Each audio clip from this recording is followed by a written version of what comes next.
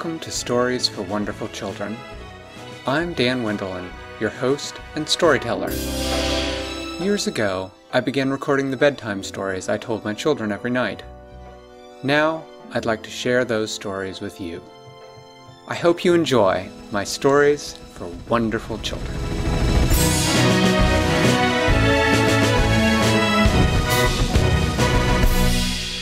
There's a little girl named Winella, and she lives in a very special house full of many special rooms. But the most special room of all is Winella's room. Because everything in it is pink and blue. The walls are pink and the floor is blue. Her pillow is pink and her bedspread is blue. Her cat is pink and her dog is blue. Everything in her room is pink and blue except for one thing. The ceiling fan. The ceiling fan. Right. The ceiling fan. And what color is the ceiling fan? Purple! One morning, Winella woke up bright and early. And she stretched. And she looked at the clock. And she saw that it was nine o'clock. And she thought, how strange. My alarm didn't go off. So she stretched. And she went down, she slid downstairs. And Hey, you She walked say what into- color the alarm was. she walked into the room Which color? where What color is her alarm? her alarm clock is blue with pink numbers. She walked into the room where her mommy was. What's the face? And What's she- the color of the face of the clock? It's blue. She oh, walked into the room. She walked into the room. Was her hair? What color? Winella's hair is sort of a dark blonde color. She walked into the room where her mommy was, and she tried to say, Hi, mommy. How are you this morning? But she opened her mouth, and her lips moved, and no sound came out. And she looked at her mommy's face, and she could see that her mommy looked very worried. And her mommy tried to talk back to her, and her lips moved, and no sound came out. And then Winella noticed there was no sound anywhere at all. Everything was completely silent. There were no birds singing outside. There were no crickets chirping. Wally was in the, the dining room pouring his milk, and there was no sound as the milk went into the glass. Winella frowned, and her mommy motioned to her to get some cereal and eat her breakfast. So Winella did. She ate her breakfast as quickly as she could.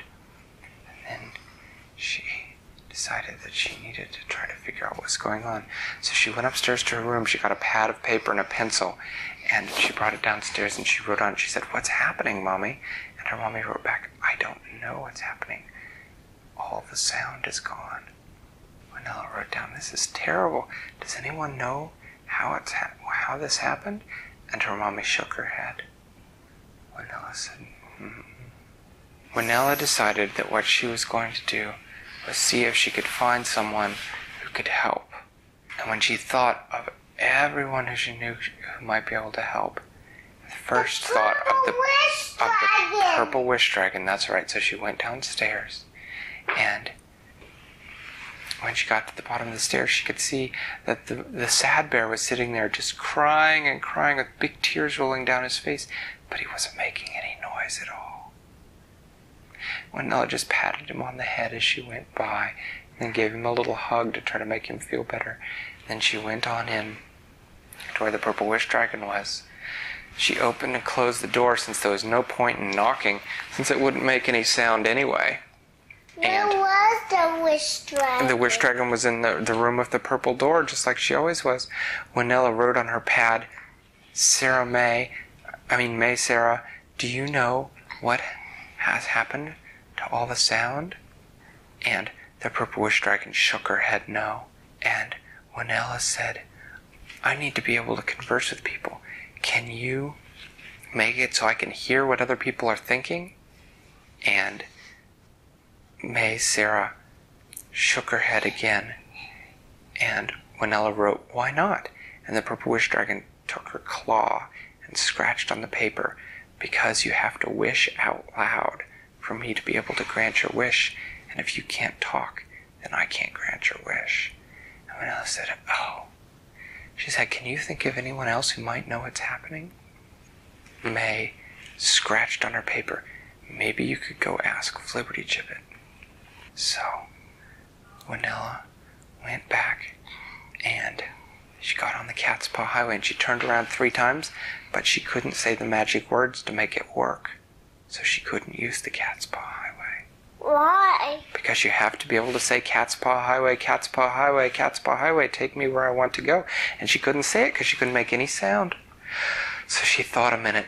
She thought, how else could I get to Flibbertigibbet's palace? Can you girls think of how else she might be able to get to Flibbertigibbet's palace? Bicycle. She could do a bicycle. Who else could help her? Help her get there fast. Uh, I don't know. Dad, Maybe someone May. maybe somebody could fly her there? May Sarah Figrin. Maybe. Or who else? I don't know. Who else flies Winella places? Lives up on the roof? Joey. Joey. That's what Winella thought of. She dashed into the house and she ran up the stairs. She took her pad and her pencil with her. She gently shook Joey's shoulder till he woke up, and then she wrote on the pad, Something has happened and all the sound in the world is gone. She said, I need you to fly me to. She wrote down, I need you to fly me to Liberty Flibbertigibbet's castle so we can try to find out what happened. So, she got on. Joey shook his head yes, nodded, and Winella got on his back, and they flew up, up, up into the air, and Joey went his very fastest. And they flew, and they flew, and they flew at top speed. And pretty soon, they were over the jungle where Flibbertigibbet's palace was, and Joey circled down to land. And Winella had been hoping that maybe the sound wasn't missing everywhere, that maybe Flibbertigibbet's palace had sound. But no, when they landed, there were no birds singing or monkeys chattering in the jar- jungle. Winella took her pad and paper and went inside, there was Flibbertigibbet lying on the lying on his throne. He had a box in front of him. It was a silver box, and it had a hole in it, and on it there were seven golden strings strung across it. And it sort of looked a little bit to Winella like sort of a kind of lap harp. And but it was the most beautiful lap harp she'd ever seen in her life. It was fancy with drawings of fairies around the edges. And Fairies? Yes, there were there were there were little drawings of fairies all around the edges of the lap harp. She waved to Flibbertigibbet, and he gave her a big tiger smile and motioned with one big paw that she could come over. She wrote on her pad, Flibbertigibbet, I don't know what's happened. All the sound in the world is gone. Do you know what's happened? Do you know how we can fix it? And Flibbertigibbet nodded his big head. He took his claw and he scribbled on her pad, and he wrote, There is trouble in the land of treble. And Winella wrote, Treble? What's treble? And Flibbertigibbet wrote, Treble is the land where the music fairies live. And Winella wrote, The music fairies? Ever heard of the music fairies?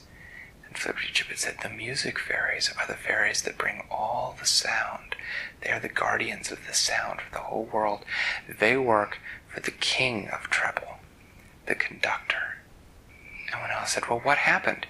And Flibbertigibbet wrote, Well, I'm not sure. But there is also someone in treble who is not good. He's the misconductor. And I know that he has been trying for a long time to summon a great evil called the silence. And I am afraid that he may have found a way to summon the silence and prevent the, and prevent the fairies from working their magic. uh, And when Ella, Cat Frost. No, it's not Jack Frost. It's the misconductor, and he has summoned the silence. Winella wrote, "Well, how can I help?" and Flibbertigibbet wrote, with his claw. He said, "This is the omniharp. It's the it's a magical musical instrument that has been entrusted to me for safekeeping by the conductor." He said, "You must take the omniharp to the land of treble, and there you must use it to help the music fairies in any way you can, and free them from the silence." And Winella said, How can I get there? The Cat's Paw Highway won't work for me. And she was writing this. And Joey doesn't know where, where the land of treble is. And Flibbertigibbet wrote, he said, I can make the Cat's Paw Highway work without talking. I am the king of the cats. Here. And he handed her the omniharp. She took it in her hands.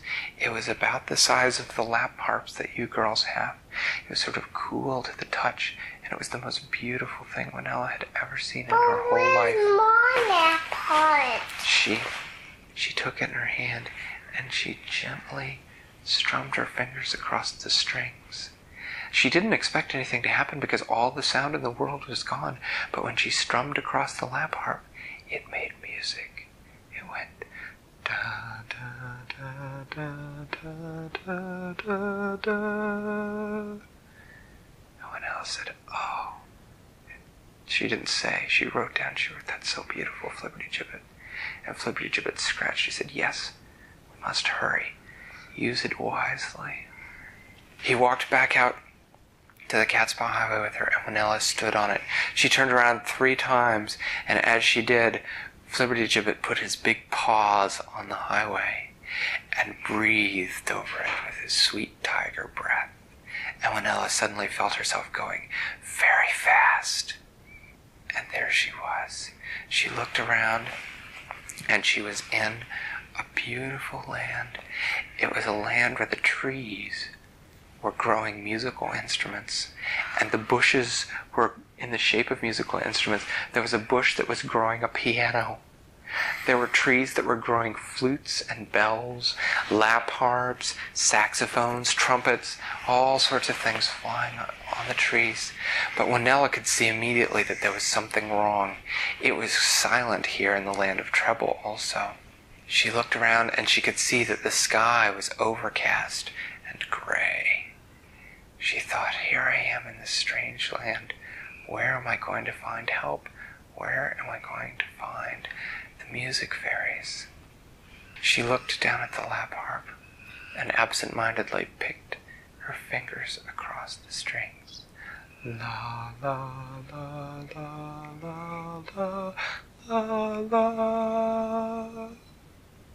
As she played that, it seemed like the dark mist that was in the land seemed to draw back a little bit, as if it didn't like the sound of the music. And as the mist drew back, Winella found that she could see further, and she saw that on the other side of the grove of bushes, there on the ground, was laying a fairy. The fairy was stretching and then stopped moving again. Winella walked over to her. She was dressed in a beautiful yellow dress with green trim.